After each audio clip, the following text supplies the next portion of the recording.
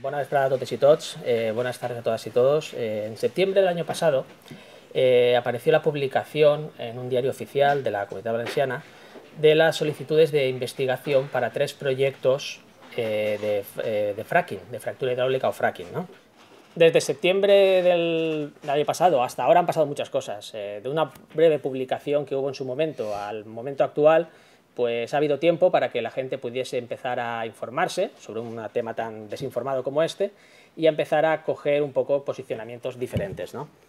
Eh, entre ellas, la consulta de grandes cantidades de información, eh, qué es la extracción de hidrocarburos no convencionales, eh, en, concreto el tema del fracking, cómo puede afectar positiva o negativamente para los territorios que se puedan ver afectados por ese tipo de proyectos, eh, cómo la utilización de estas energías pueden ir en detrimento de las energías renovables y hay una serie de efectos eh, como si puede ser asumible o no puede ser asumible este tipo de, extracciones, este tipo de energías en los momentos actuales. ¿no? Enmarcado en este contexto actual de crisis económica, social y ecológica, como, como había mencionado el compañero, foros como este pretenden eh, dotar a la sociedad de argumentos, de argumentos de primera mano, eh, de argumentos de análisis eh, por personal, personas cualificadas y preparadas para ello. Eh, efectivamente falta el sector de la industria en esta mesa, pero desde aquí tengo que, tenemos que decir que estamos ya acostumbrados, pues no es el primer foro público montado por una institución en el que falta. De hecho, todavía no ha venido ninguno ni los que se han seguido por parte de la UGI, ni por parte de diferentes televisiones que han querido hacer, hacer mesas redondas como, como esta, y evidentemente hoy no podía ser una excepción. ¿no? Vale, eso mm, sería un poco para contextualizarnos un poco. Eh, para poder hacer asociaciones de hidrocarburos no convencionales se plantean técnicas como la fractura hidráulica o fracking. ¿Qué es el fracking? ¿En qué consiste? Mm, ¿Cómo se lleva a cabo y cuál es la incidencia eh, que puede tener desde el punto de vista geológico en el subsuelo? Son algunos de los aspectos relevantes que nos ayudarán a entender este tipo de explotación de hidrocarburos. Ninguna forma de extracción de hidrocarburos está exenta de riesgos medioambientales. Mm, eso creo que es una característica que está asumida por todos. Ahora, es precisamente el fracking el que destaca por su potencial de agresividad en el medio ambiente, eh, fruto de la propia técnica que utiliza para ello. Eh, los diferentes impactos ambientales asociados a la fractura hidráulica en general, ¿Y cuáles son las características hidrogeológicas en particular de las zonas afectadas, como es el caso de las comarcas de Castelló y también sería el caso de Teruel por el proyecto Platón y sus mm, primos hermanos, también, tanto por parte de la empresa como por las características eh, geológicas? Son temas que abordará eh, en su intervención eh, don José Luis Simón, catedrático del Departamento de Ciencias de la Tierra de la Universidad de Zaragoza. Eh, tiene una tesis doctoral sobre Maestrat, las fallas y la evolución de las tensiones tectónicas en el terciario y cuaternario, y es autor de, 180 publicaciones entre libros, capítulos de libros y artículos en revistas nacionales e internacionales sobre geología estructural, tectónica y geomorfológica. Es creador y coordinador científico del Parque Geológico de Aliaga y miembro del Comité Científico del Geoparque del Maestrazgo creemos que la persona eh, que mejor, mejor nos puede hacer entender y explicar qué es lo que hay bajo nuestros pies y cómo puede de alguna forma afectarle o no este tipo de técnicas, como es el tema de la fractura o fracking. Cuando, cuando quiera. Vale, gracias. Bien, eh, yo voy a hablar desde un punto de vista un poquitín más técnico, voy a procurar no salirme estrictamente de lo que es el ámbito técnico, al menos en la intervención inicial, aunque luego supongo que en el coloquio habrá lugar para que también aparezcan las opiniones más personales sobre el tema. Pero intentaré en la primera parte quedarme únicamente en lo que serían aspectos técnicos. Eh, el gas de pizarra es una modalidad de hidrocarburo no convencional. Los hidrocarburos se dividen en petróleo y gas por una parte y por otra parte en petróleo y gas convencionales o no convencionales. Los convencionales, el petróleo y gas de toda la vida, se están acabando. ¿eh? Ya muchos economistas y pensadores han anunciado que hemos sobrepasado el llamado pico del petróleo, un momento en la historia en que hemos consumido ya más de la mitad de las reservas que tenemos y ya la producción y el consumo necesariamente tienen que ir en declive. Eso parece que ya se ha producido o se está produciendo ahora. Con lo cual, eh, una sociedad un sistema económico basado en los combustibles fósiles relativamente baratos busca una salida. Yo diría que es casi una huida hacia adelante en el sentido de creer ver en otros tipos de hidrocarburos, los llamados no convencionales, fundamentalmente el gas de pizarra, una perspectiva de futuro que nos permita todavía durante muchas décadas seguir viviendo, seguir haciendo que nuestro sistema económico se mantenga sobre la base de los combustibles fósiles.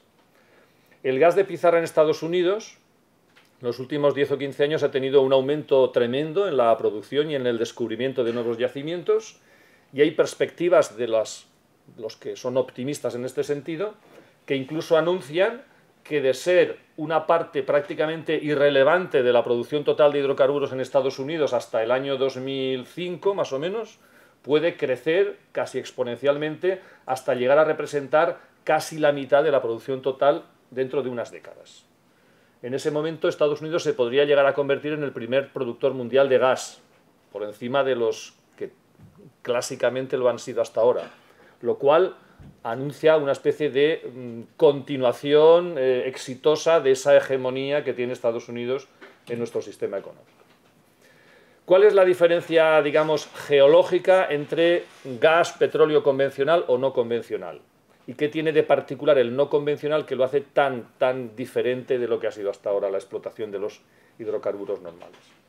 Bueno, el petróleo y el gas convencionales son hidrocarburos alojados en rocas muy porosas, muy permeables, mientras que los no convencionales son aquellos que están en rocas muy poco permeables, rocas con poros muy pequeños, donde hay pequeñas gotas o burbujas de petróleo o de gas, prácticamente imposible de sacar por métodos convencionales, porque si hacemos un pozo, un pozo vertical, que es lo único que hace falta para sacar gas o petróleo de una gran bolsada de las que tenemos en el subsuelo, no en una gran caverna, sino en una roca muy porosa, muy permeable, muy fisurada de la que eso se saca con gran facilidad, pues eso mismo no podemos hacerlo cuando el gas está alojado en rocas muy poco permeables.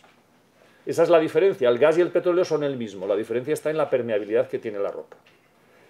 Para extraer gas que existe alojado en esas rocas muy, muy poco permeables desde hace decenas o centenares de millones de años, y que nunca se ha visto posible el sacarlo porque con un simple pozo no se podía extraer o no se podía extraer con unos rendimientos adecuados, es por lo que se ha ideado la tecnología de la fracturación hidráulica, que consiste en hacer una perforación vertical, a continuación una reorientación del pozo hasta convertirlo en horizontal o paralelo a la formación rocosa que contiene gas, y hacer lo que se llama un proceso de fracturación hidráulica, es decir, rotura de la roca, fisuración de la roca de manera inducida, de manera artificial, aumentando la fisuración que pueda tener la roca o creando completamente una fisuración nueva y eso se hace mediante la inyección de agua a muy alta presión. La fracturación hidráulica como tal es un fenómeno que se conoce y se practica en petróleo e incluso en pozos de agua desde hace muchísimo tiempo, pero a muy pequeña escala y siempre en pozos verticales se hacía. En cambio, desde hace unos 15 años, no más, es un tema bastante reciente, se consiguió la tecnología que permite girar el pozo para convertirlo de vertical en horizontal y prolongarlo hasta un kilómetro o más de un kilómetro en la horizontal, a la vez que conseguimos la tecnología para inyectar en ese pozo agua a muy alta presión, hasta 700 atmósferas de presión se llega a inyectar, y conseguir con esa inyección de agua a muy alta presión reventar, fracturar completamente la formación rocosa. Todo eso en conjunto es una tecnología que es relativamente reciente, pero se ha desarrollado de una manera muy rápida en los últimos años en Estados Unidos y Canadá. La técnica empieza inicialmente por algo convencional, que es hacer un pozo vertical. Eh, ese pozo vertical se le aplica un revestimiento de seguridad formado por una triple capa incluso de cemento y acero cuando el pozo vertical atraviesa los acuíferos. Esto es muy importante porque enseguida hablaremos de que uno de los peligros es la contaminación de los acuíferos. Por tanto, digamos que la primera medida segura que hay que tener en cuenta para aislar todas las operaciones que hagamos de los acuíferos es cuando los atravesemos, revestirlos de, se suele hacer, hasta tres capas concéntricas de cemento, acero, cemento, acero, cemento, acero, para eh, evitar que se puedan contaminar los, los acuíferos. Cuando llegamos a una profundidad que puede ser 2, 3, 4 kilómetros hacemos que el pozo eh, cambie de vertical a horizontal. Todo esto se hace con una cabeza perforadora que va robotizada y controlada desde el exterior, haciendo que vaya cambiando de orientación. Y prolongamos un kilómetro, más de un kilómetro, a lo largo de la formación que contiene gas ese pozo. A continuación inyectamos fluido, como digo, a muy alta presión y conseguimos, esto físicamente puede explicarse, no hace falta entrar en detalles, pero mediante la inyección de agua a presión conseguimos reventar la roca. El fluido que se inyecta no es solo agua, es una mezcla de agua con arena y con una serie de aditivos químicos.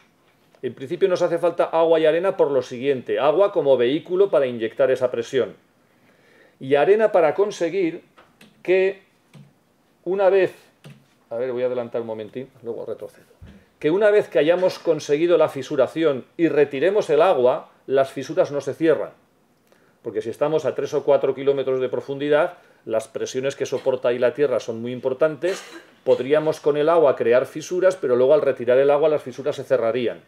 Entonces, lo que hacen los granos de arena mezclados homogéneamente con el agua es quedarse en las fisuras y evitar que las fisuras se cierren, porque tenemos que mantenerlas abiertas para luego extraer el gas. La mezcla de agua con arena tiene que tener unas determinadas propiedades físicas, de viscosidad, evitar el rozamiento, eh, tener un grado de asepsia que impida que se formen colonias de hongos o de algas que podrían estropearnos el proceso. Y todo esto, conseguir unas, unas propiedades físicas y una asepsia de ese fluido requiere unos componentes químicos, unos aditivos químicos que se añaden en una proporción de aproximadamente el 1 o el 2% y que tienen esa serie de, eh, digamos, de finalidades. Una vez que hemos conseguido toda esta operación de fracturar la roca, que la arena mantenga las fisuras abiertas, estamos en condiciones ya de conseguir que el gas de las rocas vaya pasando de los poros a las fisuras pequeñas, de las fisuras pequeñas a las fisuras más grandes y finalmente por el pozo que hemos hecho conseguimos extraerlo. Al final acaba siendo una extracción también convencional. Lo que no es convencional es esa parte intermedia del pozo horizontal más el proceso de fracturación hidráulica. El gas luego ya, pues mediante gasoductos o mediante camiones cisterna, pues ya se, le da salida, se vende, etcétera, etcétera. Esto es sucintamente porque tengo que no extenderme demasiado eh, el proceso que por otra parte imagino que muchos más o menos ya conocíais. Muy brevemente el índice de impactos ambientales que tiene todo este proceso para eh, a continuación centrarme un poquitín más en los impactos que tienen más que ver con el subsuelo, con la geología del subsuelo, que es aquello de lo que yo puedo hablar con un poco más de propiedad. Pero eso hay que inscribirlo también en un contexto. Eh, hay dos impactos inmediatos, visibles, en absoluto cuestionables, o sea, son de cajón que se van a producir, y que en principio es la sociedad la que sabe que van a ocurrir y puede tomar la decisión de asumirlos o no asumirlos. Los dos impactos tienen que ver con el consumo de recursos. Hay dos recursos importantísimos que hay que poner en manos de la empresa que se dedique a explorar esto y a explotarlo. Uno, el recurso suelo, el recurso territorio, y por tanto hay un impacto en el territorio, en el paisaje, en el suelo importante.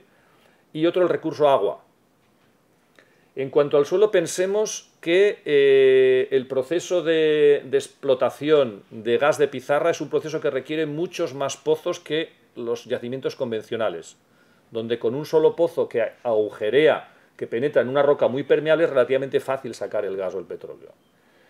En el fracking hay que preparar para cada pozo que se, que se perfore una plataforma de aproximadamente unas dos hectáreas de terreno, y esto multiplicarlo por cientos o miles de veces porque los campos muy productivos tienen cientos o miles de pozos activos o no activos. Cuando pasa su periodo de vida útil, dejan de utilizarse, pero la plataforma completamente horizontal de dos hectáreas nos queda allí para siempre. Otra cosa es que haya legislación que obliga a restaurar o no, pero de momento esa es una condición. ¿Por qué hace falta una plataforma tan grande? Porque todo el proceso es complejo. Hace falta la torre de perforación, hace falta eh, el acopio de agua, de arena, de aditivos químicos, etcétera. Hace falta una batería de compresores colocados eh, para trabajar en batería que consigan inyectar las 700 atmósferas en el pozo, es decir, todo eso requiere una parafernalia de la que da cuenta, por ejemplo, estas imágenes tomadas en campos petrolíferos en Texas, en Estados Unidos, donde hay ya más, estos datos seguramente están ya obsoletos, más de 15.000 pozos en 13.000 kilómetros cuadrados, es decir, más de un pozo por cada kilómetro cuadrado. ¿eh? En el campo Barnett Shale, uno de los campos más productivos de los Estados Unidos. Este es el paisaje que crea el fracking en Texas, en Pensilvania, en los estados más, eh, donde más se ha desarrollado y que se puede ver simplemente cogiendo el Google Earth y buceando un poquito, que es de donde están estas sacadas estas imágenes donde la proliferación de plataformas de explotación llegan a invadir completamente el paisaje. O sea, esto es, cada rectángulo de estos es una plataforma de explotación mediante fracking. Eso ya da idea del impacto que tiene sobre el territorio y sustituir una zona completamente llana, como es la que tenéis en la imagen, por una zona con un relieve complicado como el Maestrat y el Sports y empezar a colocar una plataforma de dos hectáreas cada kilómetro cuadrado. No es difícil imaginarse el resultado. Eh, recurso agua. La industria necesita mucha agua porque cada operación de fracturación que se hace en un pozo requiere, aunque esto es muy variable, varios miles, pueden ser en torno a 15.000 de promedio metros cúbicos de agua. Cada operación de fracturación en cada pozo, esto hay que multiplicarlo por los cientos de pozos o miles de pozos en algún caso, y por las n veces que se fractura cada pozo, porque en el momento en que baja la producción, y esto ocurre rápidamente ya el segundo año y continúa el tercero y el cuarto año, se vuelve otra vez a fracturar para estimular y aumentar de nuevo la producción. Por lo tanto, cada pozo no se hace una sola vez la fracturación hidráulica, sino que se puede hacer 3, 4, 5, 6, 8 veces. Cada operación requiere 15.000 metros cúbicos de agua que tienen que estar disponibles en el territorio para poder suministrarlos a la industria que está actuando, que está operando. Junto a este consumo de recursos están la contaminación.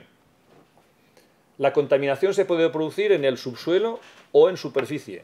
En el subsuelo desde el momento que estamos inyectando varios miles de metros cúbicos cada vez, de donde solo un 1 o 2% son aditivos químicos, pero un 1 o 2% de 15.000 metros cúbicos cada vez es mucho aditivo químico, como podéis comprobar. En superficie también porque parte de esa agua que se inyecta con aditivos químicos luego se recupera. La parte que se recupera es muy variable. A veces casi toda queda en el subsuelo, a veces casi toda se recupera. Entre un 10, 15 y un 85% se puede recuperar o quedar en el subsuelo en función de las características de cada lugar o de la tipo de prácticas que emplee cada empresa. En cualquier caso, cuanta más quede en el subsuelo, más contaminación ya absolutamente incontrolable existe, cuanta más recuperemos en superficie, más necesidad de gestionar unas aguas que son aguas residuales, que hay que tratarlas como tales y hay que seguir unos protocolos y supone unos costes también, ¿no? el, manejo de toda esa agua residual. Por otra parte está qué tipo de contaminantes podemos, eh, existe peligro de que pasen al agua, al agua subterránea o a las aguas superficiales. Por una parte los aditivos químicos, de los que seguramente tú comentarás algo más, ¿vale? Y yo no quiero incidir. Se ha escrito mucho sobre el tema, pero hay informes eh, de organismos oficiales que al menos en los años pasados, los años pretéritos en Estados Unidos, daban cuenta de una larga lista de componentes químicos entre los que había varios tóxicos, cancerígenos, eh, causantes de mutaciones genéticas, etc. Luego eso está ahí, aunque es verdad que la industria cada vez insiste más en que esos compuestos químicos tóxicos ya no se emplean o no se van a emplear y en cambio se van a emplear otros que son inocuos. Bueno, pues ahí está un poco el debate. El propio gas que se explota, que es fundamentalmente metano, el gas natural, la proporción máxima es de metano, también puede ser un agente contaminante y si no hacemos las cosas bien o se nos va de las manos, también puede llegar a contaminar los acuíferos o las aguas superficiales. Y hay una larga lista de accidentes y de percances acaecidos en Estados Unidos por ese tema. También podemos movilizar a esa gran profundidad aguas salinas profundas que estaban ahí quietas y sin tener ningún tipo de, impacto ambiental, pero que podemos arrastrarlas a la superficie con la movilización que hacemos. Si contaminamos los acuíferos, estamos añadiendo agua salina a acuíferos que podían ser de agua dulce de buena calidad y los estamos estropeando. Y otro factor también posible que a veces no se menciona es que este proceso de inyección de agua a muy alta presión también puede movilizar elementos químicos que hay en el subsuelo que son tóxicos, por ejemplo el arsénico, otros metales pesados, incluso elementos radiactivos en algunas zonas que los contengan las rocas del subsuelo. Esos pueden estar ahora mismo atrapados en las rocas y ser completamente inocuos, a 3, 4 mil metros de profundidad, pero si ahora lo que hacemos es eh, inyectar agua, removilizarlos y extraer esa agua, es posible que estemos movilizando elementos químicos que acaben también produciendo contaminación. Bueno, tengo alguna imagen de estas que la paso muy rápida porque no quiero extenderme para dejar el tema más abierto, el de los productos químicos. Eh, tampoco hace falta que incida mucho porque es de todos conocido el tema de la contaminación por metano, que está absolutamente demostrada científicamente, hasta el punto de que en viviendas de Estados Unidos en las que se filmaron imágenes como esta que pertenece al ya famoso documental Gasland, la tierra del gas, pues el metano está disuelto en el agua potable, el agua que sale por, por los grifos de las casas en una proporción tal que puede incendiarse el agua del grifo cuando, cuando aplicamos una cerilla o un mechero. ¿eh? Estos son imágenes reales que están en el YouTube, si alguien quiere verlas por curiosidad animadas, y se dará cuenta de que esto es un hecho. Eh, a veces no es que se hable de que eso sean montajes, sino que se piensa que ese metano puede proceder de otras fuentes que no sean el gas de los yacimientos que se están explotando, bueno, hay trabajos científicos que demuestran la asociación de ese gas y de esa contaminación por gas con yacimientos que se están explotando, simplemente por la proporción de metano disuelto en agua que es prácticamente eh, exiguo a distancias grandes de los pozos que se están explotando y sin embargo aumenta a cantidades ya muy por encima de lo que es tolerable cuando nos acercamos a las zonas que se están explotando. Por otra parte hay indicadores geoquímicos que hablan de que ese metano que está saliendo y contaminando el agua es metano procedente de las formaciones profundas. No es metano, por ejemplo, procedente de la putrefacción de materia orgánica en superficie, que también produce metano, pero tiene, digamos, una asignatura o unas características distintas. La contaminación de los acuíferos, aquí entro ya en el tema puramente geológico que por una parte voy a eh, discutir en general y por otra parte voy a aplicarlo al maestrado, eh, la contaminación de los acuíferos eh, no está, sobre todo por productos químicos o por productos tóxicos del tipo de arsénico y demás, no está, digamos, eh, documentada y demostrada en Estados Unidos más que en un solo caso. Un solo caso que parece que las prácticas no eran correctas. En otros cientos de miles de casos en que se ha aplicado la fracturación hidráulica, parece que no ha habido hasta ahora, al menos demostradamente, contaminación de los acuíferos. La razón que da la industria siempre para mostrar que es una que utiliza procedimientos seguros y que las formaciones en las que se está extrayendo gas y los acuíferos están absolutamente alejados son eh, conjuntos de datos como los que os muestro en este gráfico y el siguiente, que por cierto son muy parecidos y voy a poner, me voy a centrar en el último solo, son muy parecidos. Quizás sean un poquitín difíciles de entender, pero yo lo voy a simplificar. Estos son pies de profundidad, dividirlo más o menos por 3, por 3 y pico. Eh, la línea naranja es la profundidad a la que se está eh, explotando gas, a la profundidad a la que hemos hecho ese pozo horizontal que se mueve una cierta distancia en la horizontal.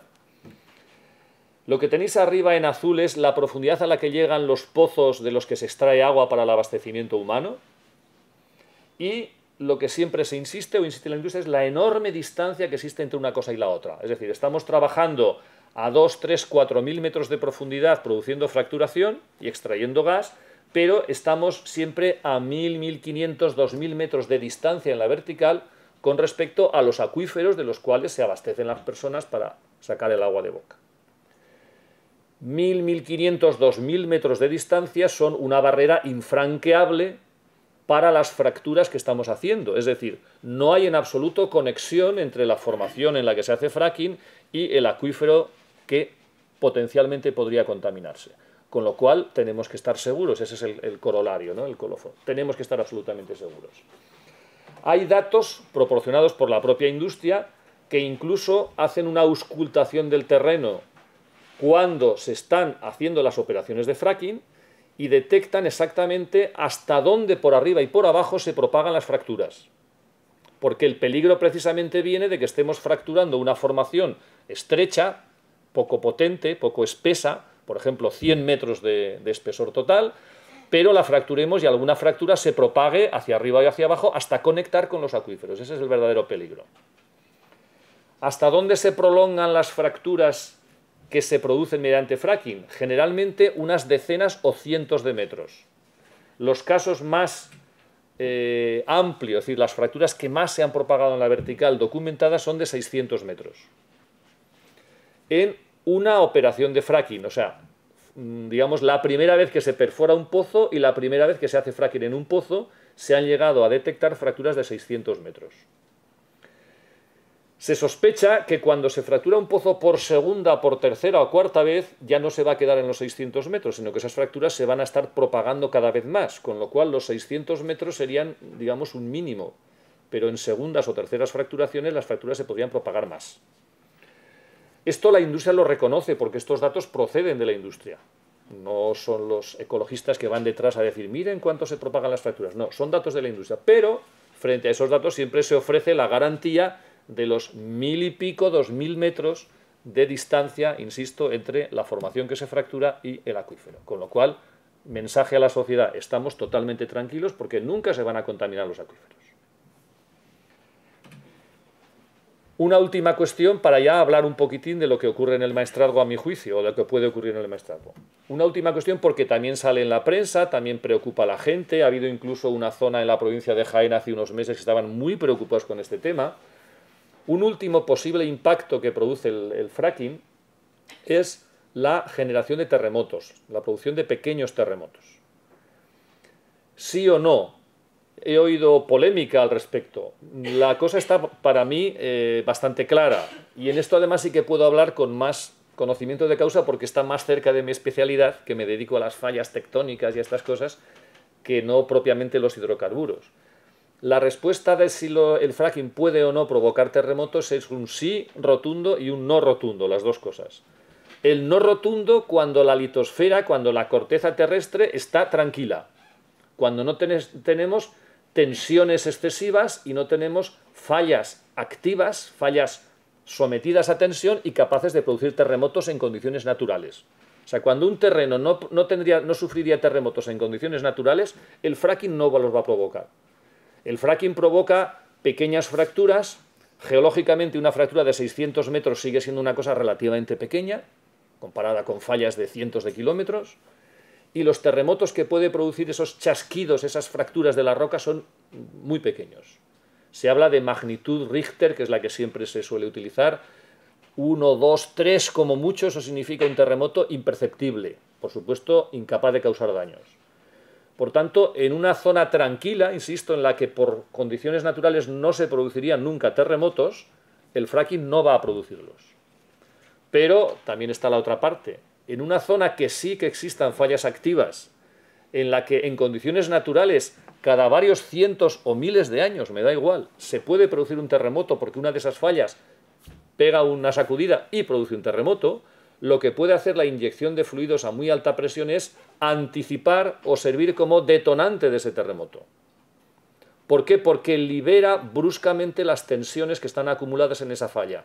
Una falla tensionada y bloqueada que todavía no ha alcanzado el nivel de tensión que producirá el movimiento de la falla, lo que hace la inyección de un fluido a muy alta presión es separar un poco, tender a separar los bloques de la falla y hacer que la falla se mueva.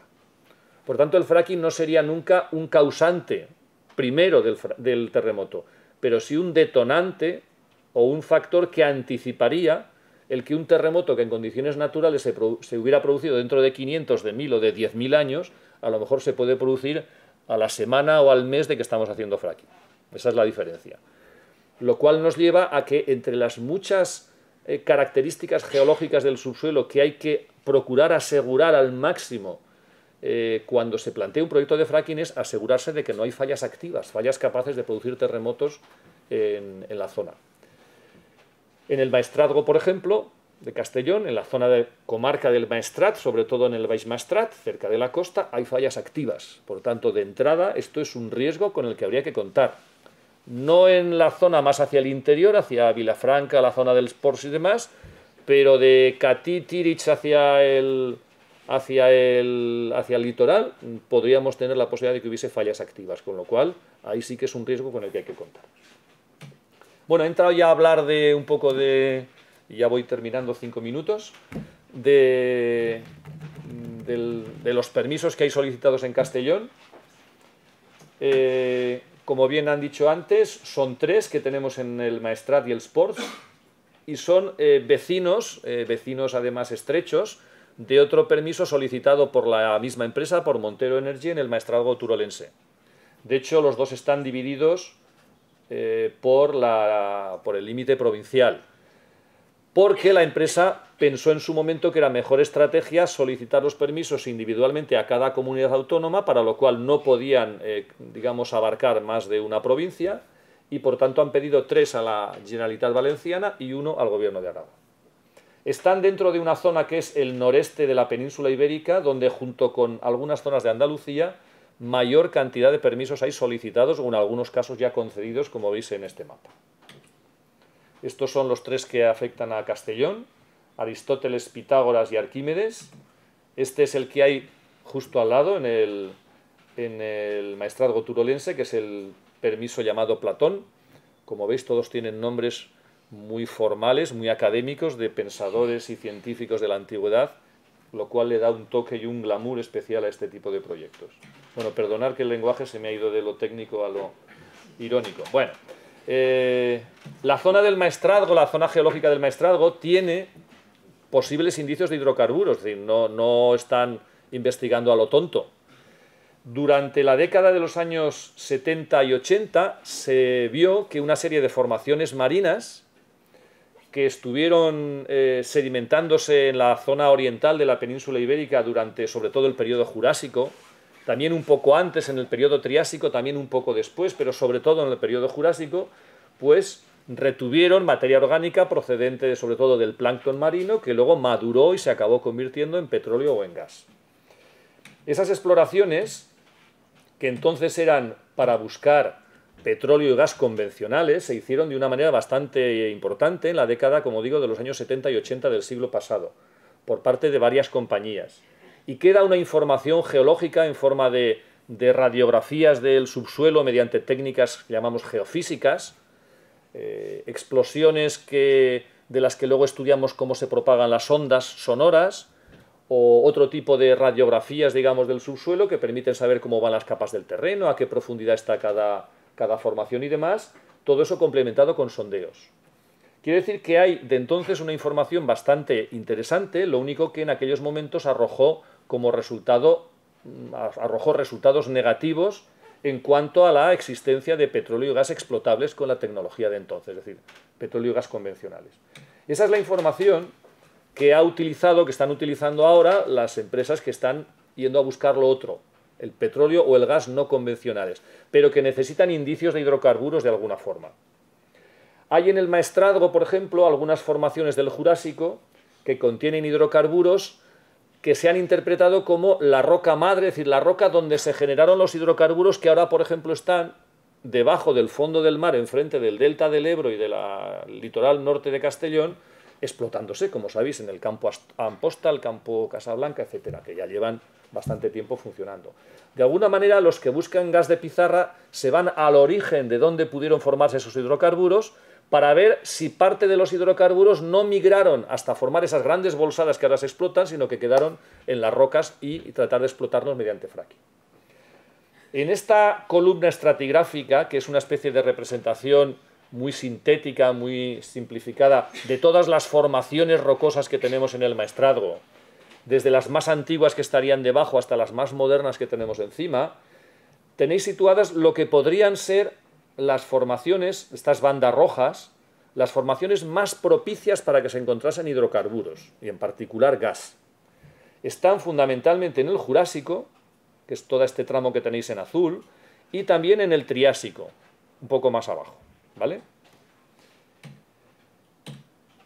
El problema en el maestrazgo es que en azul tenéis las formaciones rocosas que se consideran acuíferos, es decir, que son muy permeables y que en lugar de tener gas o hidrocarburos lo que tienen es agua. En el fondo es la misma situación, es un fluido dentro de los poros de la roca.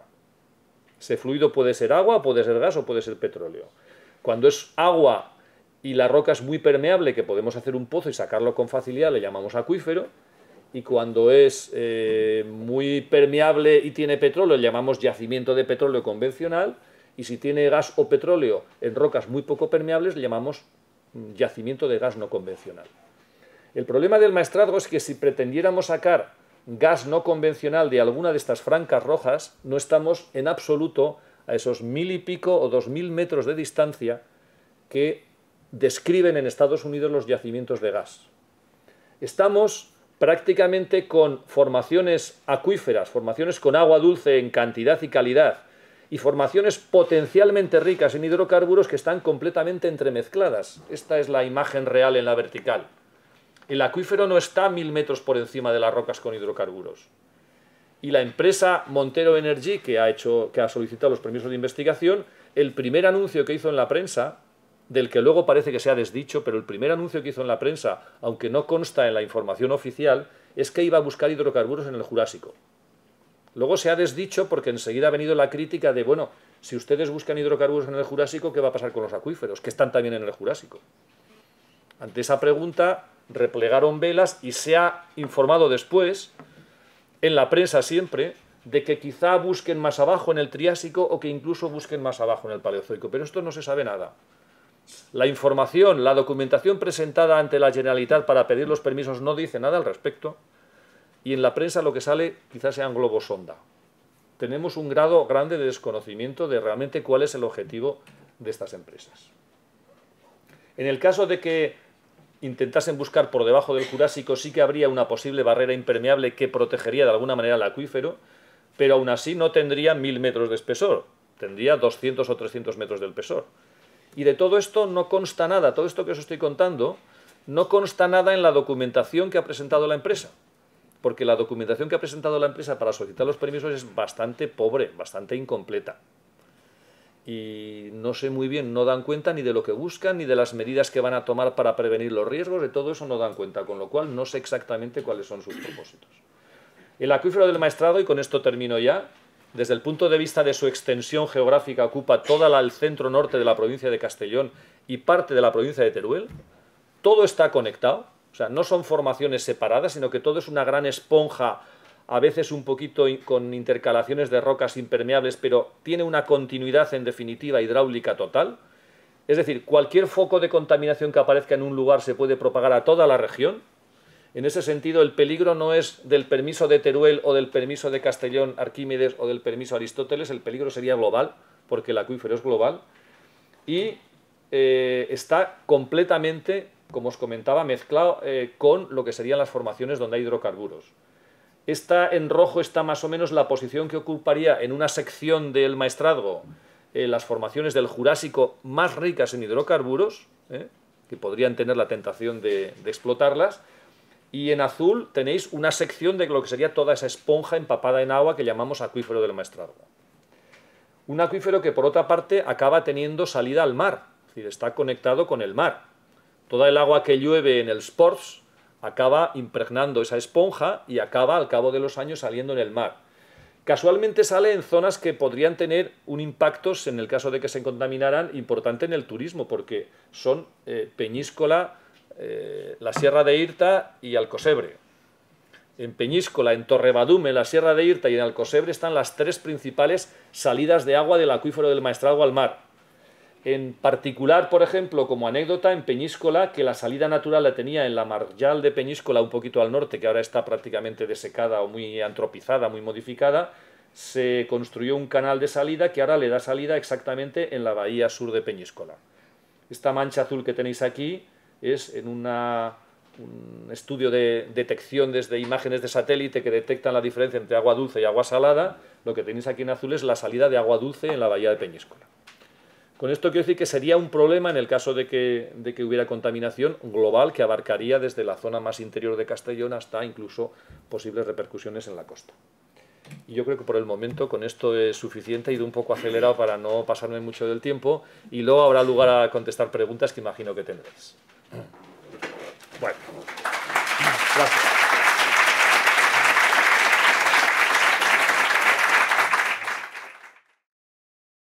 Eh, bueno, quería comentar brevemente eh, una cosa que me llama la atención, ¿no? Cuando eh, hablaba eh, José Luis antes, pues hablaba de que hay un alto grado de desconocimiento de las... Tenemos un alto grado de desconocimiento de las intenciones de la industria. Yo creo que deberíamos tener un alto grado de desconfianza en lo que va a hacer la industria. ¿no?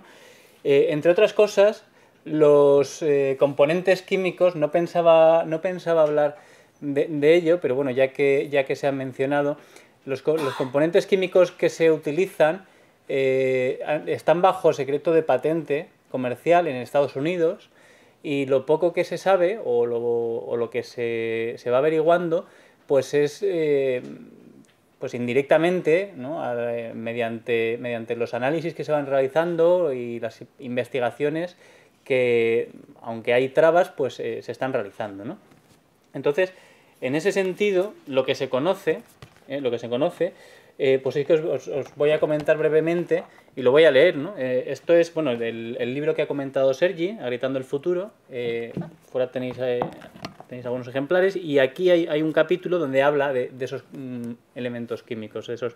Entonces, para contextualizar un poco,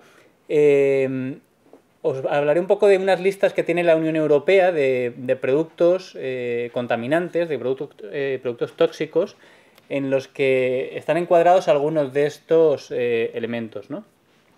tiene una, serie de listas, por ejemplo, y, las tiene numeradas. las listas de la 1 a la 4 pues son relaciones de sustancias que exigen una acción inmediata en caso de dispersión en el ambiente. Luego hay una lista de 33 sustancias prioritarias en las que los Estados miembros de la Unión Europea eh, están obligados a reducir su uso. Hay una lista de PBTs, que son productos bioacumulativos y tóxicos, que son bueno, pues los que se van acumulando en los organismos eh, vivos y acaban llegando al final de la cadena trófica. Muchas veces pues, somos los seres humanos los, que, los que acabamos acumulando estos, estos productos. ¿no? Entonces, de lo que se conoce, de los productos que se conocen, pues 15 eh, de ellas están en estas listas de la 1 a la 4, en la que, repito, eh, se exige inmediata atención en caso de dispersión al, medio ambiente. Una eh, está siendo investigada como presunto PPT, producto bioacumulativo y tóxico. Seis están en la primera lista, que es, digamos, los, más tóxicos. Dos están en la lista de los 33 sustancias que los estados están obligados a reducir su uso. 38 son eh, tóxicos agudos para los humanos, 8 son cancerígenos, 6 son sospechosos de serlo, siete son mutagénicos, cinco tienen efectos sobre la reproducción. En fin, eh, la verdad es que es alarmante. Es alarmante y a mí me parece un suicidio, como tantas otras actividades que estamos realizando eh, los seres humanos. Yo no voy a hacer una exposición eh, tan técnica como, la anterior, pero sí que voy a intentar mm, pues, ver un poco algunos aspectos económicos, impactos o causas a nivel social de, pues de, qué está pasando y de por qué la industria se lanza ahora a esto. Eh, y dar una visión general sobre las, eh, los retos que tiene la humanidad ante sí. Y para ello además quería pues, que nos planteáramos un poco qué es lo que está sucediendo y cómo, y cómo se utiliza el lenguaje y cómo eso también incide en, nuestra forma de ver el mundo. ¿no? Eh, pues un poco lo que decíamos antes. ¿no? Eh, no hay que tener un alto grado de desconocimiento, sino yo creo que de, desconfianza. Y os cuento una anécdota que esta misma tarde pues me sucedía. Venía, he cogido el tren para venir de Valencia a Castellón. Eh, el tren sale de la estación del norte y entonces yo me he montado en el tren y he visto mm, y me he sentado en, los, eh, en los asientos en los que daba la sombra, pensando, iluso de mí, que, que iba a estar a la sombra, que no me iba a dar el sol, ¿no? Claro, curiosamente la estación del norte de Valencia está al sur de la ciudad, con lo cual el tren, al encararse hacia el norte para venir a Castellón, pues eh, ha, dado, ha hecho un giro de 180 grados y me venía dando el sol eh, todo el camino. No pasa nada porque no, realmente no ha pasado calor. Y esto de tontería, esto que puede parecer una tontería y puede ser gracioso, pues no es tan gracioso cuando se nos habla de cosas como energía limpia, como que el gas es una energía limpia, como coches ecológicos, eh, como explotación de recursos no convencionales sin impacto sobre el medio ambiente. Por ejemplo, hace unos días estaba leyendo un documento de la Unión Europea que se llama Green Paper 2030, es el libro verde sobre energía a 2030. Es un documento que ha elaborado la Comisión Europea eh, para establecer objetivos de reducción de emisiones de gases de efecto invernadero, de emisiones de gases de efecto invernadero, de, ahorro energético, en el ámbito de un panorama más amplio que hay a 2050. Entonces, en este documento se, se dice textualmente que hay que favorecer la extracción de gas y petróleo no convencionales, eh, pero siempre teniendo en cuenta que se minimicen los impactos o que no existan impactos sobre el medio ambiente. Bueno, pues esto eh, es imposible. Esto es directamente imposible. Eh, es un ejemplo de cómo el lenguaje se utiliza eh, de forma totalmente malintencionada, ¿eh? porque evidentemente eh, hay unos intereses creados para, bueno, por parte de, grandes empresas, de grandes poderes, que quieren apropiarse de unos recursos a costa de la salud o de la economía de, pues, de la sociedad en su conjunto. ¿no? En ese sentido, por ejemplo, pues eh, hay estudios, aunque se han puesto muchas trabas en Estados Unidos, hay estudios los últimos, en el último año, hay varios del Servicio Geológico eh, estadounidense, de la Agencia de Protección del Medio Ambiente, por ejemplo en Pavilion, creo recordar que se ha documentado de esa formación de Marcellus cómo, se, cómo hay contaminantes que sí que se, eh, que sí que se desplazan a través de los acuíferos, cómo ha habido eh, aguas superficiales contaminadas eh, y acuíferos, ¿no? Entonces, eh, claro, hay poca información al respecto, ¿no? Entre otras cosas, por ejemplo, en 2007 se aprobó una directiva de, de, política energética en Estados Unidos que eximía a la industria de los hidrocarburos no convencionales de cumplir eh, dos directivas, la directiva de agua limpia y la directiva de agua potable. Y al mismo tiempo se ponían trabas a la Agencia de Protección del Medio Ambiente estadounidense, la EPA, para eh, controlar las operaciones, eh, para contaminar, perdón, controlar la contaminación en, zonas cercanas a, a, las explotaciones de, de, hidrocarburos no convencionales. ¿no? Afortunadamente, bueno, pues sí que ha habido cierta investigación, sí que se han hecho algunos pozos de, prueba y se han detectado pues cosas que están en informes públicos, ¿no? Em, luego hay, un tema también eh, curioso y es que, por ejemplo, muchos de los eh, pozos de extracción de hidrocarburos no convencionales, de, gas de esquisto, en Estados Unidos, se realizan en terrenos privados. De forma que eh, cuando la empresa mm, va y le ofrece al propietario del terreno dinero para poder perforar en su terreno, al mismo tiempo le hace firmar unos documentos con cláusulas de confidencialidad y con la promesa de que no va a, iniciar acciones legales, etcétera, etcétera, etcétera. De forma que si después ese propietario detecta que hay contaminación en los acuíferos, porque muchas veces pues, son grandes extensiones, son terrenos donde pues hay granjas o bueno, las latifundios, ¿no? Eh, eh, ranchos, etcétera, eh, pues muchas de estas de estos casos de contaminación no se mm, no se denuncian, ¿no? o no se denuncian públicamente, no se denuncian en los tribunales, aunque sí que hay algunos casos, hay cientos de casos de hecho, en los que sí que se han ido denunciando a la opinión pública. ¿no? Bueno, dicho, dicho esto, pues eh, probablemente va a haber eh, muchas... Si, apagáis la luz, porque sí que voy a, sí que voy a, hacer uso de la, de la presentación. Eh, muchas de las transparencias probablemente me las saltaré porque algunas se han comentado, se han comentado antes, ¿no? Bueno, esto era en, el, en el invierno del 2008-2009. Eran pues informaciones que nos venían de Centro Europa. Si recordáis, eh, había una guerra de bueno por el, una guerra de, recursos energéticos del abastecimiento del gas en Europa en Centro Europa se pasó bastante mal Ucrania cerró el grifo del gas que venía de Rusia y, bueno, en pleno invierno, con olas muy potentes de, frío, eh, pues esto supuso un, gran martillazo. ¿no?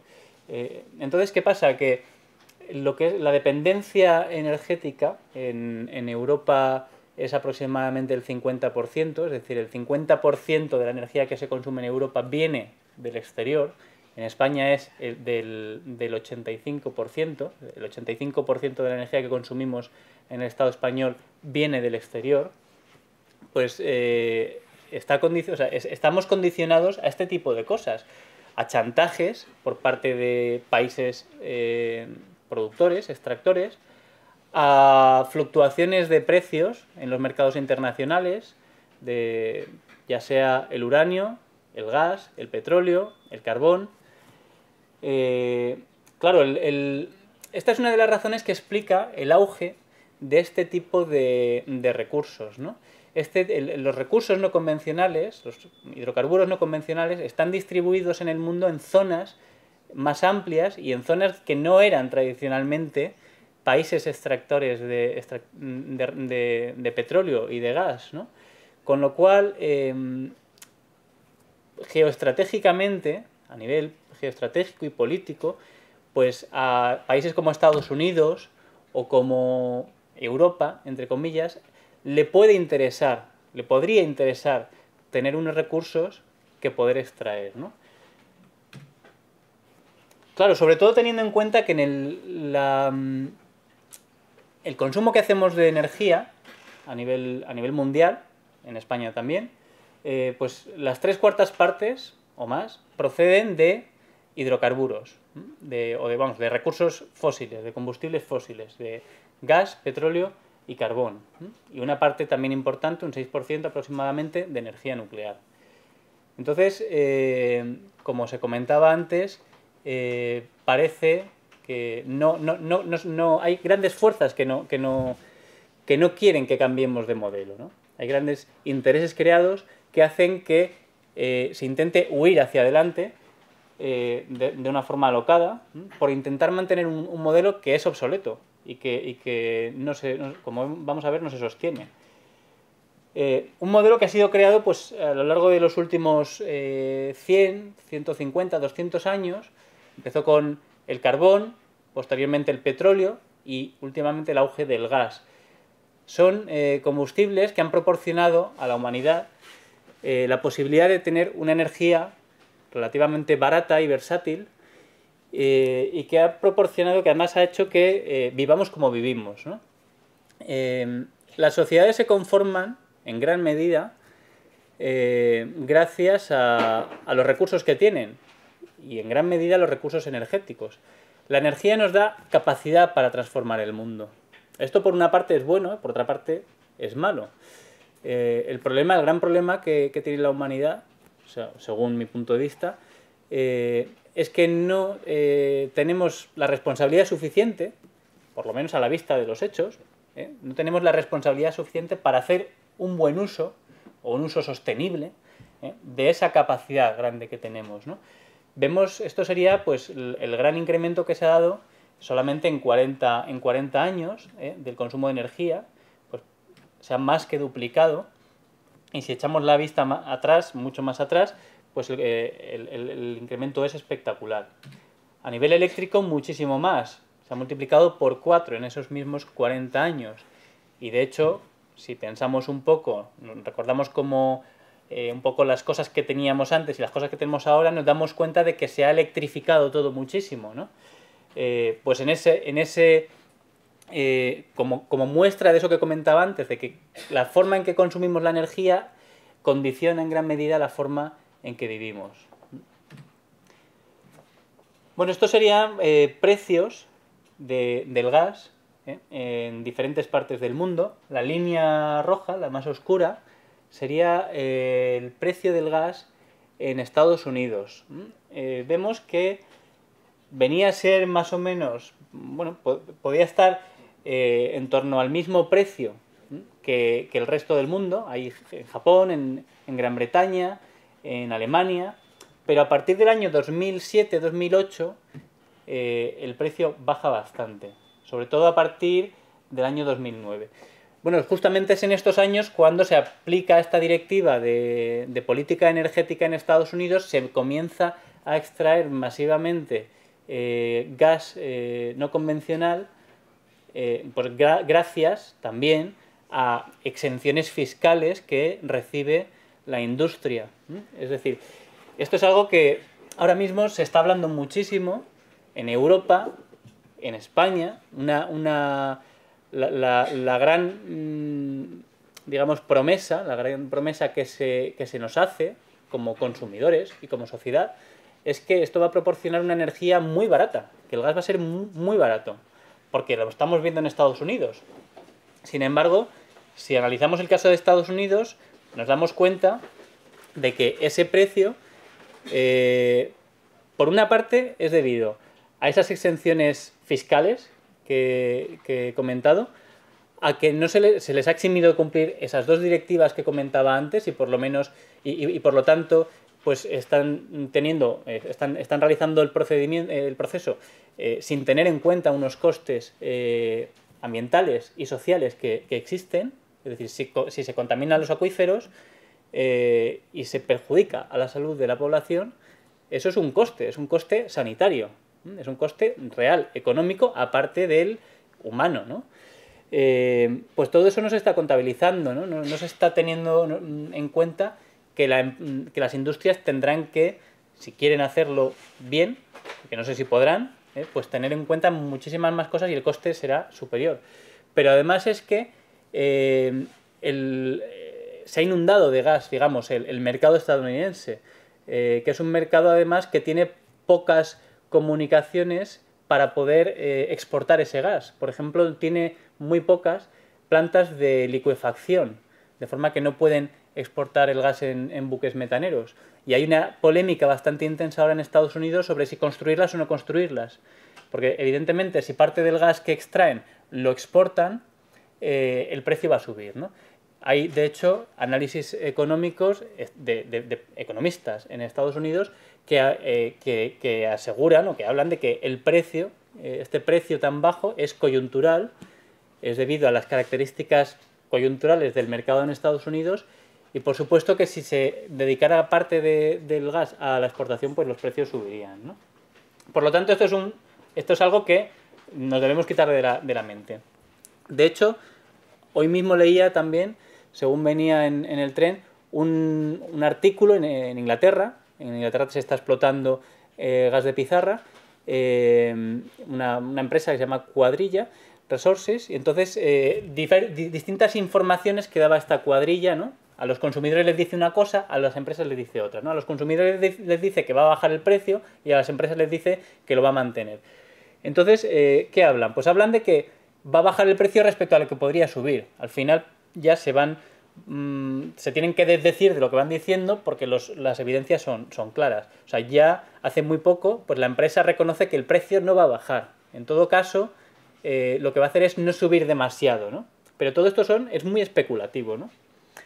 Y de especulación, pues quería hablar un poco. Aquí tenéis un poco precios también, ¿no? En, en distintas partes del mundo donde se ve también que el precio actualmente en Estados Unidos pues e, es más bajo, mucho más bajo que en el resto del mundo. Esto sería precio del petróleo, la evolución del precio del petróleo desde los mediados del siglo XIX eh, en la actualidad. Eh, la subida de precios del petróleo y la que veíamos antes también de precios de gas es una de las razones que explican por qué ahora se apuesta también por estas técnicas.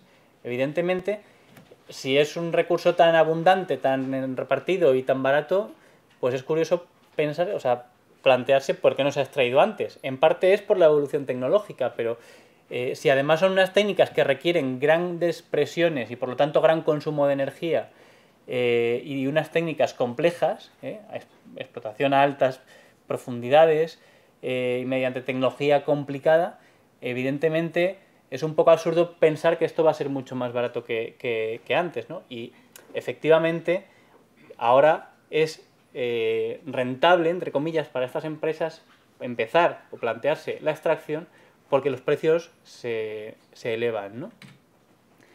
Esto es un poco, bueno, pues lo que también se ha visto antes, un poco el declive eh, en la extracción de gas, esto sería en Europa, no me voy a extender mucho porque ya se ha hablado antes, el pico del petróleo y de hidrocarburos convencionales.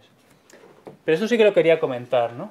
Esto, la TRE, la tasa de retorno energético, es un, es un concepto que se, que se utiliza en, ámbitos energéticos y que da cuenta de la cantidad de energía que se extrae de un proceso en relación a la cantidad de energía que se, que se inyecta. ¿no? Como comentaba antes, en un pozo de, eh, de, gas no convencional necesitamos más energía que en uno no convencional para extraer, eh, por ejemplo, en este caso, pues el ejemplo son 5 barriles. ¿no? Eh, para extraer 5 barriles, por ejemplo, esto sería mm, petróleo de, arenas bituminosas, eh, tenemos que utilizar un barril de petróleo, porque tenemos que mover camiones, tenemos que mover maquinaria, tenemos que hacer perforaciones, tenemos que hacer una serie de cosas que requieren energía. De forma que de esos cinco barriles que hemos extraído, si queremos continuar el proceso, tendremos que quitar uno para extraer otros cinco. Pero esos nuevos cinco tendremos que extraer uno. De forma que de los recursos que se, que se suponen, que están ahí, eh, tenemos que quitar una quinta parte solamente quedarán cuatro quintas partes para su consumo. Bueno, eh, no está mal, ¿eh? no está mal, pero hay que tenerlo en cuenta. El problema es que de los distintos tipos de hidrocarburos que, existían en la antigüedad y que existen ahora, pues las tasas de retorno energético van decayendo.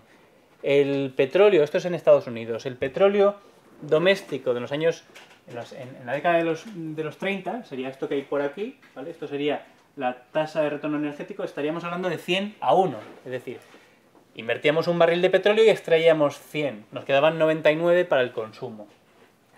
Pero en la década de los 70 ya había bajado a, a, unas tasas de aproximadamente el 30, de 30 a 1.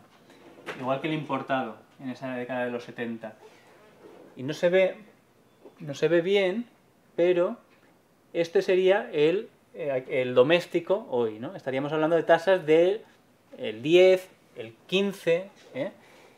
la nuclear estaría por aquí, y aquí abajo estarían eh, pues arenas bituminosas, y también estarían por ahí pues mm, hidrocarburos no convencionales, que están ofreciendo unas tasas de retorno energético pues del 1,5, el 2, el 3, ¿eh? Es decir, que, realmente de los recursos que se estiman que hay en el subsuelo, aprovechables hay muchos menos. ¿no? Y sobre todo es que además lo que está pasando, lo que se está viendo en los últimos años es que de las estimaciones que tenía la industria, lo que se está consiguiendo recuperar es muy inferior a lo que se decía hace, hace pocos años. Aproximadamente del orden del 40, 50, 60% menos de lo que se estimaba. ¿Qué pasa? Pues que bueno, esta imagen la hemos visto ¿eh? antes, ya os lo ha explicado José Luis. Eh, pues lo que pasa es que eh, estamos asistiendo a una burbuja especulativa y por parte de estas empresas, que por una parte suben en bolsa porque cuando anuncian que tienen grandes territorios o que se les ha concedido la explotación de, territorios, como pueda ser si se le concede el, caso de Castellón, por otra parte, si consiguen exenciones fiscales, pues lo pueden eh, sacar al mercado a unos precios que pueden tener una cierta rentabilidad eh, si hay en, escenarios de precios altos de hidrocarburos, ¿eh?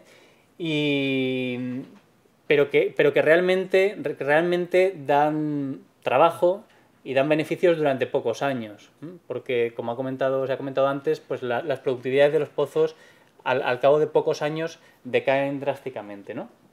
Quería comentar un poco, y, por eso traía aquí esta, esta imagen, ¿no? las resistencias al cambio, las resistencias al cambio que son muy importantes. ¿no? Em, claro, todo, todo lo, que, mm, lo que se plantea ¿no? Eh, de esta huida hacia adelante es por intentar mantener un modelo que, como he dicho antes, es obsoleto y que además tiene que ser cambiado. Antes o después cambiará necesariamente, pero debería ser antes. Debería ser antes por una serie de consideraciones, como son el cambio climático o como es el eh, poder planificar eh, ese cambio. que no sea un, cambio drástico, que de, repente dentro de 5 o 10 años eh, nos quedemos sin recursos y no hayamos planificado una, reducción paulatina, sin, que no sea drástica para la sociedad eh, en cuanto al consumo de energía. Pero ¿qué pasa? Que el ser humano tiene una serie de resistencias a, los cambios. Y traía aquí esta imagen de, estas eh, pinturas rupestres, ¿no? Porque eh, si pensamos un poco en la, evolución del ser humano, pues eh, el, ser humano como tal, como somos hoy en día, el Homo sapiens, pues tiene unos 200.000 años de existencia. ¿eh? Y además de, esos 200.000 años, pues una gran parte hemos sido cazadores-recolectores, que era es un poco la imagen que se ve. Hace cerca de 10.000 años fue cuando comenzaron los primeros asentamientos humanos. Pero aparte de eso, millones de años, eh, pues hemos sido, ha, habido homínidos o especies que, eh, han, ido evolucionando hasta lo que conocemos hoy en día y que, tienen una, eh, carga genética muy arraigada en, nosotros y que, y conforma nuestro pensamiento y nuestra forma de hacer las, de hacer las cosas muchas veces. ¿no? Entonces, ¿qué pasa? Que cualquier animal y, el ser humano como tal está genéticamente preparado para, eh, para protegerse del peligro inmediato. Y de hecho, si vemos documentales, eh, pues podemos observar que muchas veces las gacelas están pastando con los leones al lado, ¿no? Y solamente en el momento en que hay una señal de peligro acuciante es cuando las gacelas salen huyendo, ¿no? Eh, esto pasa, o sea, el mundo es un entorno hostil y si tuviéramos que estar permanentemente pensando en qué puede pasar, pues nos volveríamos locos, ¿no? Genéticamente, el ser humano está condicionado para vivir más o menos de forma tranquila y reaccionar rápidamente ante un peligro inmediato. El problema viene cuando el peligro no es inmediato. Cuando el peligro pues, puede venir dentro de 10 años, de 50 o de 100 años, ¿no? En este caso, pues eh, no estamos no estamos diseñados para, actuar, ¿no? Y, es una, o puede ser una de las razones que hacen que nos estemos tomando esto con la ligereza que nos lo estamos tomando, ¿no? Esto, que es una reflexión mía, pues eh, parece que hay o sea, otra gente que también lo, ha pensado, ¿no? Creo recordar que en un libro que me leí hace poco de Marvin Harris se comentaba y hay un estudio de la Universidad de Columbia donde también se comenta, ¿no? Entonces es algo que debemos reflexionar y, que además yo en otras ocasiones también lo comento, ¿no? El ser humano está modificando drásticamente el entorno. Otras especies lo han hecho antes y ha habido grandes cataclismos y grandes, eh, y grandes cambios en, la naturaleza. Y no pasa nada, la evolución es así. El problema es que el ser humano, que sepamos, es la primera vez que, se da cuenta de lo que está haciendo y de las consecuencias que van a tener sus actos. Y deberíamos ser capaces de actuar en consecuencia. Bueno, eh, esto sería eh, algo que podemos hacer para actuar en consecuencia. ¿eh? Nos podemos dar cuenta de que realmente no es necesario un consumo energético tan desproporcionado como el que tenemos en la actualidad. Hay estudios como este donde se ve que para sociedades que tienen, esto sería el índice de desarrollo humano, que agrupa pues mortandad infantil, esperanza de vida, índice de alfabetización, etcétera, etcétera, eh, consumen muy poca energía. Cuando, cuando se consume más energía, el índice de desarrollo humano se incrementa rápidamente. Pero a partir de un cierto nivel de índice de desarrollo humano, un cierto nivel de consumo energético, consumir mucha más energía no incrementa ese, digamos, la calidad de vida. Por lo tanto, podríamos vivir bien, con un índice de desarrollo humano alto, con una calidad de vida alta, consumiendo mucha menos energía. Pues España está aquí ¿no? consume 3,6 toneladas equivalentes de petróleo per cápita y año. Eh, y Uruguay es verdad, está más bajo, pero también es verdad que gracias a los avances en eficiencia energética, ¿eh? podemos, se puede incrementar, y también hay estudios que lo demuestran haciendo eh, comparativas a lo largo de, las décadas, que media, reduciendo el consumo energético, se alcanza el mismo índice de desarrollo humano. Por lo tanto, deberíamos ser conscientes de esto y plantear eh, estrategias de ahorro, eficiencia energética y lo que consumamos, consumirlo mediante las energías más limpias posibles, que serían las renovables y aquellas que tienen menos impacto. Hay numerosos informes, tenemos en Ecologistas en Acción, pero también en otras organizaciones, o en IDAE mismamente, donde se muestran que hay un gran potencial de ahorro y de, eficiencia. BDF. Y aquí termina, tampoco quiero extenderme y quiero dejar también ámbito para, el debate. Muchas gracias.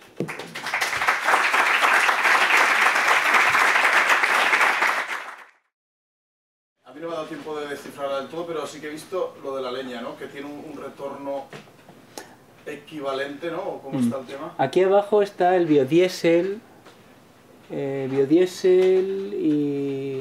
A la, Y biogás, izquierda, a creo. la izquierda de la gráfica ¿Mm? pone Firewood. Ah, sí, sí, sí, sí, sí. Eh, entonces, eso que, que me ha parecido que, sería, que de momento que la leña podría ser también una fuente o, o no. Es que no la interpreto bien esa gráfica. No, Sí, sí, sí.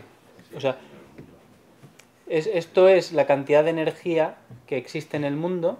O sea, hacia, hacia la derecha es más energía y hacia arriba es eh, eh, tasas de retorno energético. Efectivamente, eh, aquí estaría la leña, bueno, tiene un margen, ¿no? Pues sí, entre, entre 20 y 40, eh, que efectivamente pues es, digamos, es, es- es interesante, por supuesto. O sea, todo lo que siempre, siempre tiene que ser mayor de uno. Es decir, si, si gastamos un barril para sacar otro barril, nos quedamos sin nada. Es que precisamente incidir en el tema de este de la leña, porque es un, es una- un recurso renovable, ¿no? Lo que Sí. no es todo lo demás. O- entonces, y bueno, aquí eh, pues el problema que tenemos ahora es eso, quieren hacer unas inversiones ahí en el tema este y a lo mejor tenemos un recurso mucho más a mano que sería eh, muy, muy, muy beneficioso para todo el ecosistema, estoy hablando del ecosistema forestal, donde hay unos excedentes ahí de energía que, bueno, que, que en verano los quemamos de golpe. Y, y pasa lo que pasa, ¿no? Me estoy refiriendo evidentemente a los grandes incendios forestales. Y bueno, con las tasas de retorno que, que aparecen en la gráfica, porque yo en concreto no estoy documentado en comparación con, con lo que es el fracking, pero vamos, que la tasa de retorno del fracking, pues eso, es bastante pobre. Y bueno, eso, simplemente señalar que eso, que está ahí ese recurso, que también es energético, que incluso se puede especular también con él, porque se puede almacenar, que es la biomasa, y bueno, y por desgracia, pues nuestros montes, y hablo básicamente de, todo, el, todo el este peninsular, pues hay mucho, mucho, mucha biomasa susceptible de ser aprovechada, de la misma manera que lo quieren hacer ellos, ¿no? Entonces, simplemente eso. Sí, so- solo hay un problema en lo que estás comentando. Y es que el aprovechamiento de la biomasa lo puede hacer una comunidad, un municipio, una pequeña empresa. Mientras que el aprovechamiento del gas de esquisto pues tiene, está solamente eh, disponible para grandes capitales, ¿no? Entonces, eh, pues no les interesa. ¿A Les interesa, les interesa, claro, a los grandes poderes les interesa tener el control sobre los recursos. Y de hecho es una de las razones por las que hay ahora mismo una guerra declarada contra las renovables por parte de las grandes eléctricas o de compañías potentes petroleras, etcétera, ¿no? O de gas. Porque les interesa tener el control de los recursos. No les interesa que la gente, eh, ya sea a nivel individual o en pequeñas comunidades o municipios, etcétera, eh, pueda plantearse consumir lo que tienen al alcance de la mano, lo que tenemos al alcance de la mano. Se me ha olvidado comentar, efectivamente, un- uno de los impactos sociales es sobre el turismo. No solamente sobre el turismo de, digamos, de, co- de costa, ¿no? sino sobre todo el turismo de interior, un turismo rural, pues imaginamos pues, cómo queda el paisaje, la afección al paisaje, no solamente a la afección que se ve al pai- en el paisaje, sino el trasiego de camiones, el polvo que levantan esos camiones, el ruido que generan, eh, pues eso, es, una actividad que al- altame- altamente impactante, ¿no? Y que probablemente en Estados Unidos, grandes extensiones deshabitadas, mm, no tienen ese impacto, pero precisamente en la, en, no solamente en, el sport, si es maestrazgo, sino eh, en Asturias, en Cantabria, en Girona, en fin, es algo demencial. Mm.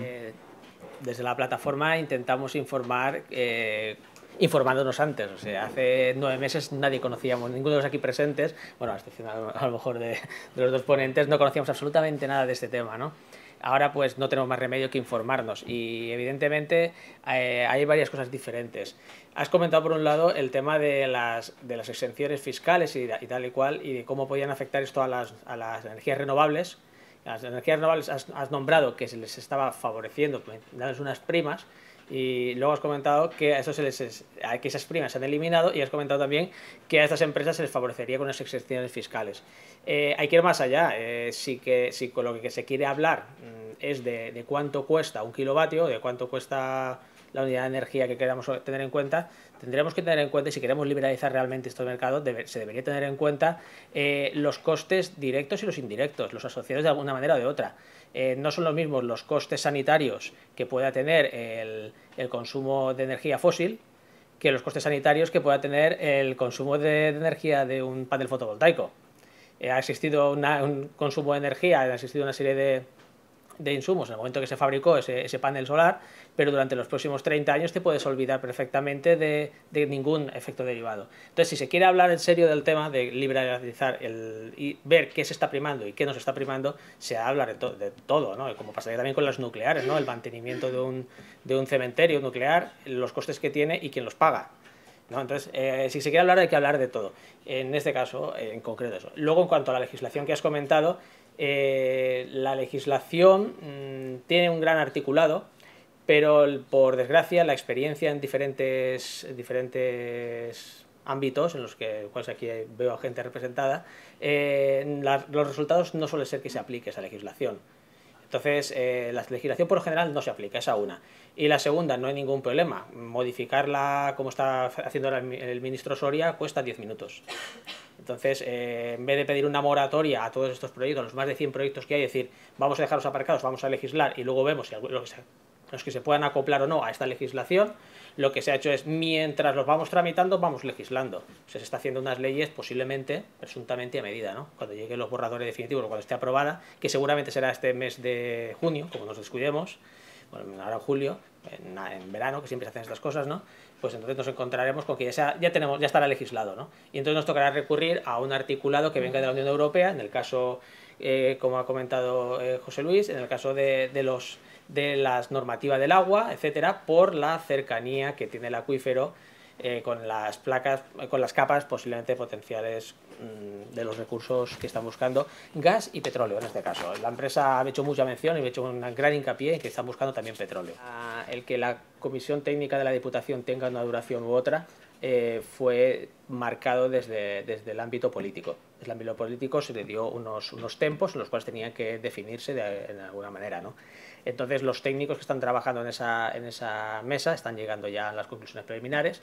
Se supone que ahora en agosto conoceremos ya los resultados definitivos, se serán públicos los resultados definitivos. Eh, y entonces, pues bueno, están haciendo un trabajo en función de las condiciones que le ha dicho que lo hagan. Mientras no tengamos ningún resultado, desde la plataforma no nos vamos a pronunciar. Eh, entendemos que si son que como la realidad es la que es, a, a, poco profesionales que sean, que no dudamos de las capacidades de ninguno de ellos, eh, estamos convencidos de cuáles serán los resultados, no tengo ninguna duda. Eh, una pregunta que le quería hacer yo, aprovechando, yo también, yo también me he apuntado ¿eh? a, a, José Luis, es en el caso, en, en febrero hubo un terremoto en, en Benasal, de escala 3, y hace dos semanas también hubo otro en una zona del Sports. Eh, también has comentado que nos encontramos en una zona con, una, con unas fallas activas. Estos terremotos y esta falla activa eh, puede dar lugar a que el subsuelo pueda estar ya comunicado de por sí antes de que lo fracturemos? ¿O las capas son capas totalmente separadas unas de otras y estas cosas no afectan en absoluto? A si te entiendo la pregunta, quieres decir que eh, el hecho de que haya terremotos es porque hay fallas las fallas ya existen, por tanto, las capas están comunicadas incluso antes de que las fracturemos. Esa es, Esa es la pregunta. La, sí. la, respuesta es sí, rotundamente. No lo he mencionado porque ya muy acelerado, pero en los gráficos que os he mostrado había unos cortes geológicos, unas secciones del terreno que serían completamente llenas de fallas. O sea, el maestrazgo es un territorio completamente fallado. Con lo cual, garantizar, fallado, a ver, eh, no, no, sí. Geológicamente sí, es que como estoy acostumbrado a utilizar la palabra, Bueno, entonces es verdad que sería un problema añadido, porque garantizar la no conexión hidráulica entre las formaciones con gas y los acuíferos, encima contando con que el terreno ya tiene toda esa enorme cantidad de fracturas y fallos, es complicado. ¿Me permites contestar a un poco a la Por supuesto. o añadir algo al Sí, sí, sí. comentario que hacías con respecto a la comisión de expertos? Eh, yo, sinceramente, no sé para qué necesitan tanto tiempo.